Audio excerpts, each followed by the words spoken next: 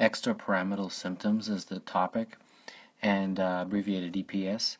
And extrapyramidal symptoms are essentially um, side effects of antipsychotic medications uh, that can occur.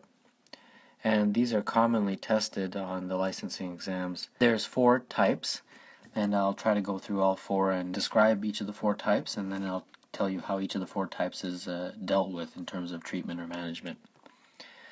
So the first of the four types of uh, extrapyramidal symptoms is something called dystonia.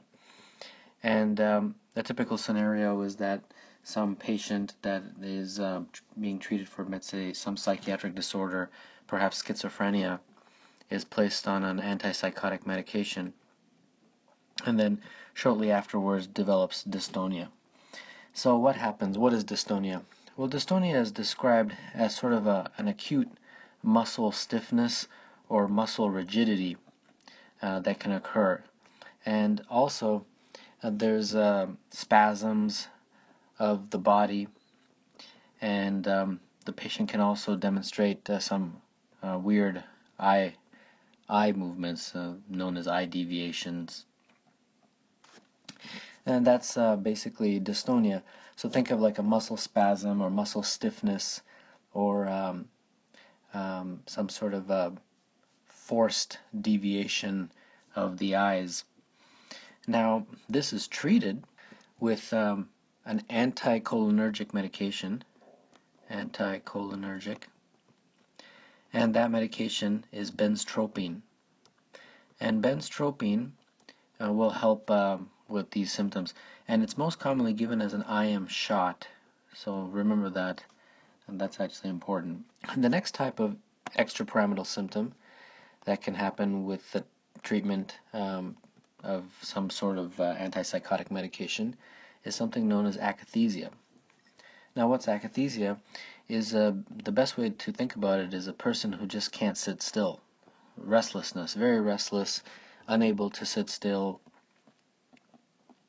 Also, this patient will probably stand up and sit down, stand up and sit down uh, many times, uh, pace around constantly. And um, this is a rather worrisome, troublesome side effect of uh, being treated with an antipsychotic medication. But this can be treated, fortunately, by calming the patient down with a benzodiazepine, lorazepam. The third type of uh, EPS, extrapyramidal symptom, is something known as Parkinsonism.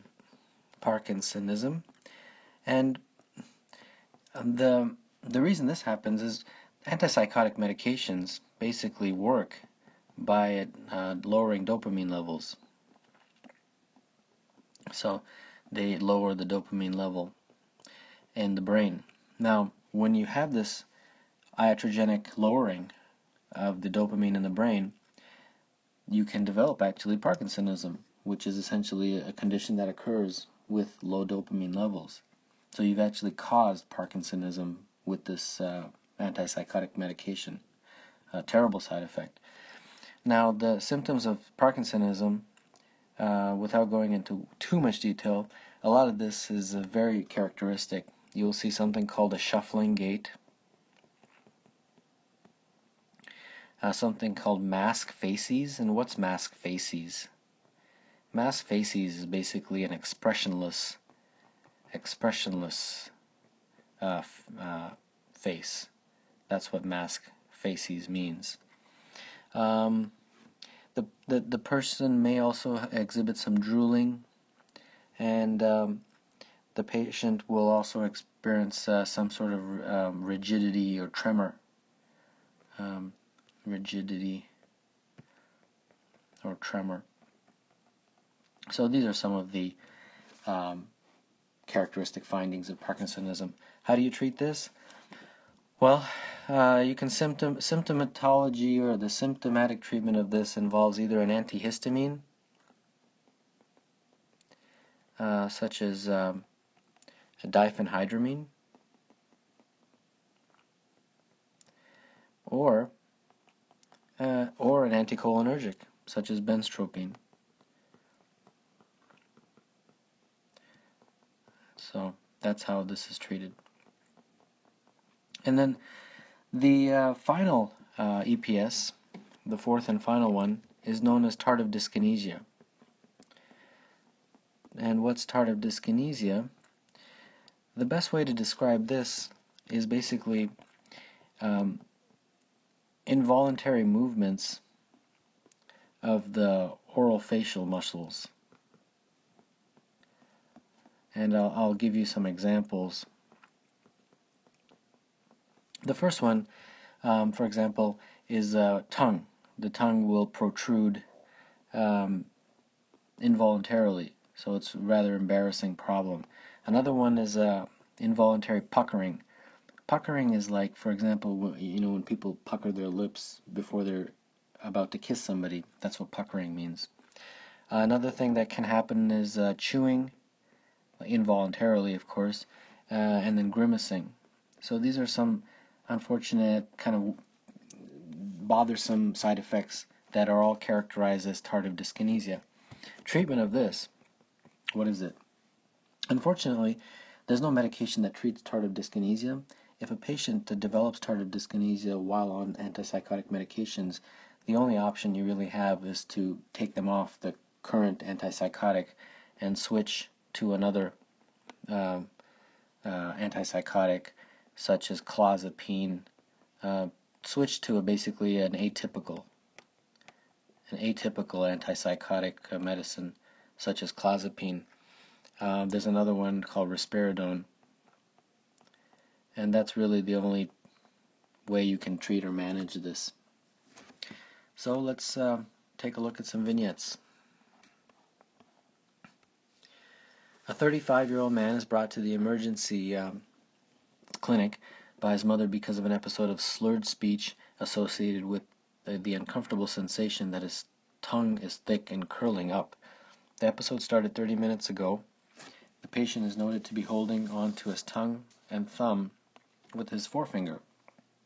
When asked about this, the patient responds with dysarthria, saying that his medication has caused this once before and that he needs a shot to make it go away.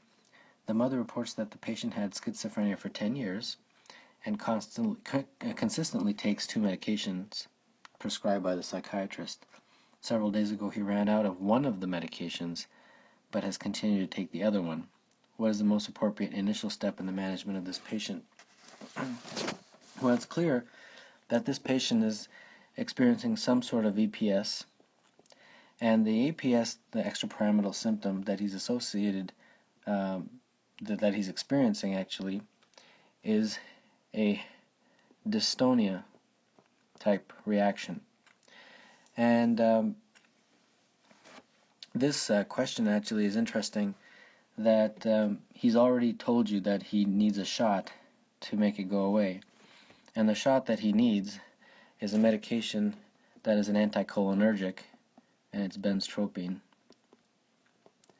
and that IM shot of benztropine will be the solution to this and that would be B.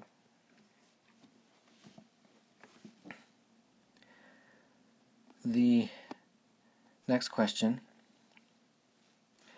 A 64-year-old man is undergoing inpatient psychiatric treatment with haloperidol. After several days of therapy, the patient complains that he feels very restless and agitated and he cannot stop moving his legs. He paces constantly, sits and then stands, and is unable to sit still.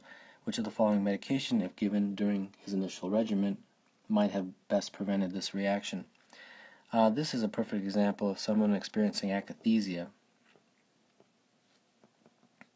And akathisia is treated with the benzodiazepine, such as lorazepam. So that would be the answer there. And the last one, a 54-year-old man, a woman, sorry, uh, presents to her primary care physician for routine yearly health maintenance exam.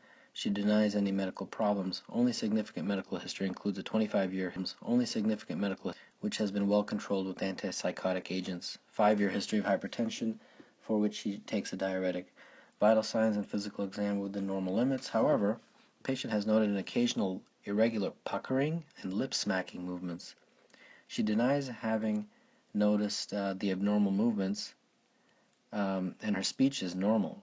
Which of the following is most likely a diagnosis? Well, now this is a good question uh, where she has these involuntary movements um, of the oral uh, facial muscles. And um, it, the puckering and the lip smacking movements are really the, the ones described in this uh, clinical vignette. And this is basically tardive dyskinesia. And tardive dyskinesia is managed by discontinuing um, the current medication and switching to another one uh, such as clozapine or risperidone.